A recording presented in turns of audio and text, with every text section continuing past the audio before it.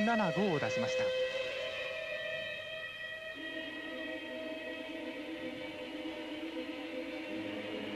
日本選手権の後曲も振り付けも変えてこのアジア大会に臨んできました。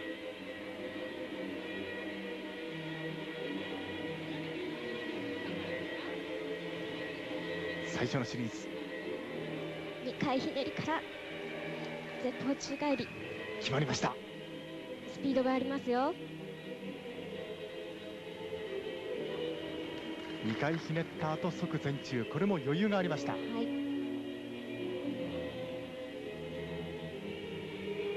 このターンも決まっています。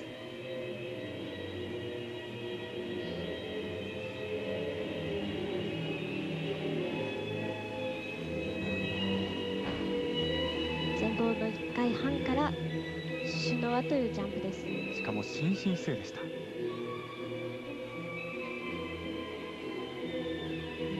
この菅原選手の表現力にも定評があります。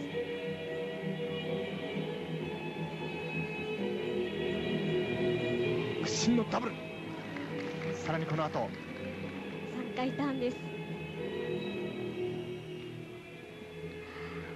少しぶれましたこの乱れは0.1の減点になってしまいますね。